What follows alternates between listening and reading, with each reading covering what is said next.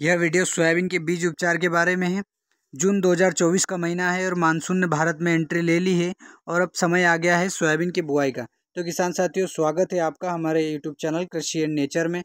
बीज आपके पास उपलब्ध है और उसकी अंकुरण क्षमता का परीक्षण आपने कर ही लिया होगा, ऐसा मैं मान के चल रहा हूँ। नहीं भी किया है तो अभी भी समय है। मिट्टी में, टाट में या पानी में किसी भी विधि से बीज की अंकुरण क्षमता जाँच लीजिए। इसके कारण बीज की दर कितनी रखनी है, आपको पता रहेगा। अब बात करते हैं सोयाबीन के बीज उपचार की। तो बीज उपचार करने के फ़ायदे आप सभी को पता है। बीज की अंकुरण क्षमता बढ़ती है। बीज चौबीस घंटे पहले अंकुरित होता है। एक तरह से बीज को एक्स्ट्रा पावर मिल जाती है, जिससे फ़सल को शुरुआती तीस दिनों तक फंगस नहीं लगती है। कई रचूसक व तनाछेदक कीट नहीं लगते हैं। बीज दर कम लगती है। कुल मिलाकर बीज उपचार के कई फ़ायदे हैं। अभी हम कुछ ऐसे फफूंदनाशी और कीटनाशी बीज उपचारक दवाओं के बारे में बात करेंगे, जो सामान्यतः सभी किसान भाई उपयोग करते हैं। इनमें से कुछ प्रोडक्ट नए शामिल हुए हैं और कुछ प्रोडक्ट पिछले वर्ष बहुत ही प्रचलित रहे हैं, जो कि बीज की एफ़ तकनीक पद्धति के बीच में आते हैं। सबसे पहले बात करते हैं सीजेंटा कंपनी की ओर से आए नए बीज उपचारक वाइब्रेंस एंट्रेगल की। वाइब्रेंस एंट्रेगल में तीन टेक्निकल है, सीडाक्लेन, एजेक्सोस्ट्रोबिन और थायो मेथाग्जाम इसमें आपको फंगीसाइड और इंसेक्टिसाइड मिक्स कॉम्बिनेशन में मिलता है। इससे आपको अलग से कीटनाशक लेने की कोई आवश्यकता नहीं है। उपयोग की मात्रा की बात करें तो 100 एम एल वाइब्रेंस इंट्रेगल से 100 किलो बीज यानी एक क्विंटल बीज को उपचारित कर सकते हैं, जिसकी कीमत आपको साढ़े छः सौ से सात सौ प्रति सौ एम पड़ेगी। यह तीस एम एल, सौ एम पैकिंग में अवेलेबल है। उपयोग की विधि आपको पता ही है। सौ एम दवाई के साथ आवश्यकता अनुसार पाँच सौ से छः सौ एम पानी लेना है और उसमें अच्छे से मिलाकर हाथ में ग्लव्स पहनकर बीज को उपचारित करना है।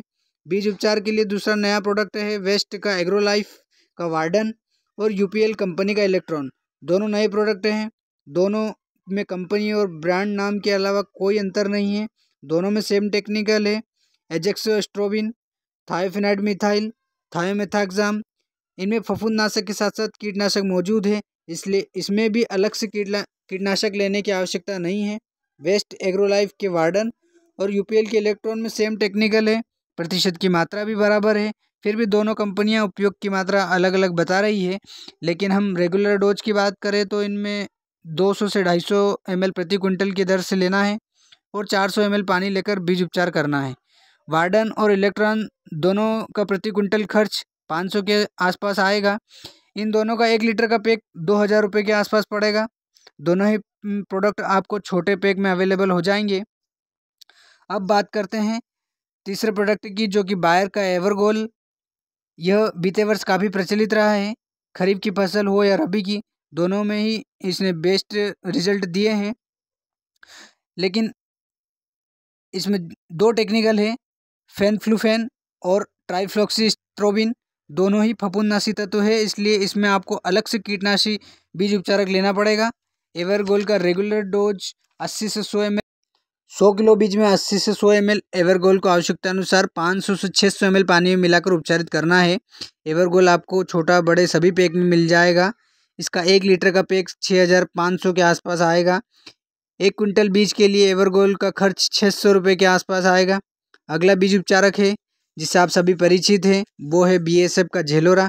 इसमें दो टेक्निकल है थायोफिनाइड मिथाइल और पायरोक्लोस्ट्रोबिन उपयोग की मात्रा 200 सौ प्रति क्विंटल 80 एम एल सौ एम एल चार सौ एम सभी पैक में अवेलेबल है। 100 किलो बीज के लिए 200 सौ एम झेलोरा को 400 सौ एम पानी में मिलाकर अच्छे से बीज उपचार करना है। इसका 400 सौ एम का पैक 1250 से 1350 के बीच आएगा। झेलोरा का एक क्विंटल बीज के लिए छः सौ रुपये के आसपास का खर्च है। एक बात का विशेष ध्यान रखिए, बीज उपचार एफआईआर पद्धति से यानी क्रमबद्ध तरीके से करें।